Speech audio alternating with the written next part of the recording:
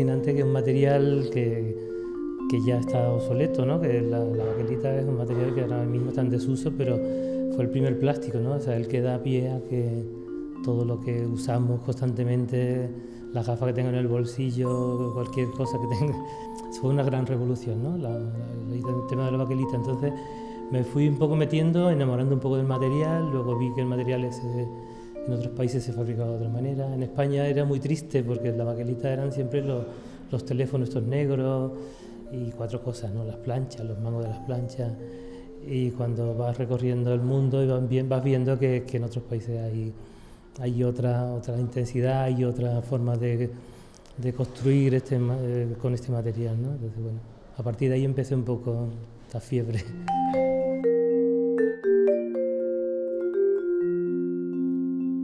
Fue una, una, sorpresa cuando Rafael un día me enseñó una pieza que, está, por supuesto, en la exposición y a partir de ahí me di cuenta de, la gran colección que tenía y fue cuando se nos ocurrió que, que tendríamos que hacer algo para que los demás la vieran. ¿no? Pero había muchas piezas que todavía no sabíamos ni quién eran los autores, ni quién eran las marcas, a veces no sabíamos ni, ni para qué servían. Y con eso pues tuvimos un reto que fue empezar a trabajar con las piezas hace ya bastante tiempo, casi, casi una década.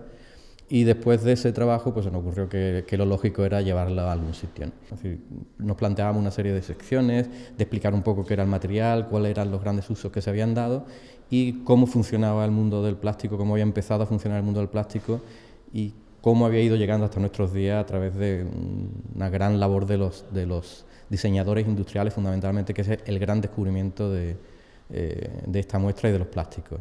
creo que fue el origen, un poco el, realzar eh, piezas y diseñadores que en muchos casos no son conocidos del gran público.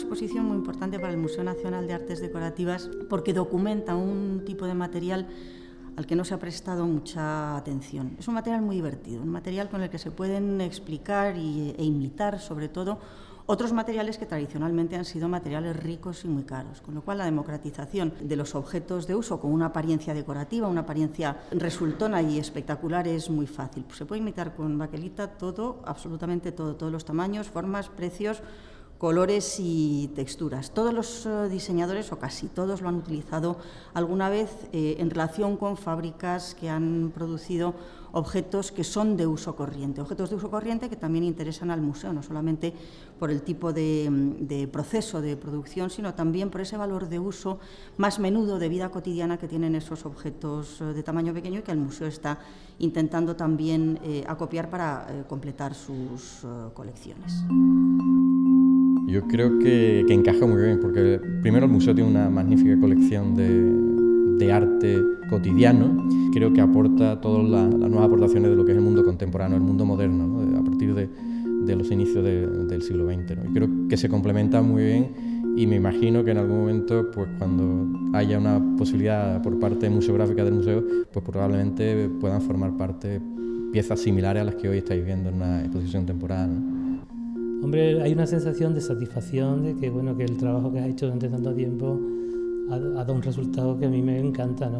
Y yo, yo la definiría como sorprendente y a la vez como cotidiana, ¿no? porque casi todos en algún momento hemos tenido una relación con la baquelita con, o con plásticos de este tipo, pero se nos habían ido quedando en, el, en los estantes de nuestras casas y habían ido siendo sustituidos por otras piezas que no tienen comparación con estas, ¿no? pero el uso nos había ido haciendo dejarlas de lado y de repente yo creo que esta exposición puede hacer que mucha gente vuelva a recuperar objetos que tiene en el altillo de su casa que no sabe que son tan interesantes y tan valiosos como ahora los consideramos.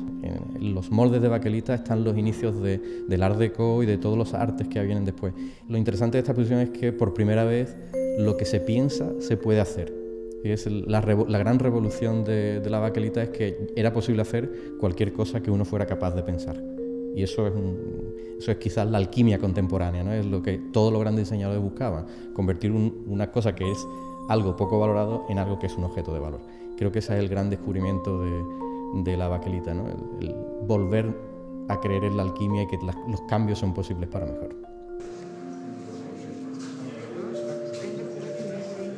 Estamos en el Museo de Artes Decorativas con una exposición muy innovadora, muy especial, eh, porque nos habla de un material que ha dominado toda nuestra vida, que es un material muy cotidiano, eh, un preplástico como es la baquelita. Además, esta exposición es interesantísima porque reúne también otro aspecto, como es el mundo del coleccionismo, la locura por coleccionar objetos de la vida cotidiana, en este caso una colección especial de Rafael Ortiz, que es un coleccionista de arte contemporáneo, por tanto también estamos aunando aquí diferentes mundos, ¿no? el, arte contemporáneo con, con, un material tan cotidiano y que puede parecer tan poco noble o tan poco interesante como es este material que, que es la baquelita.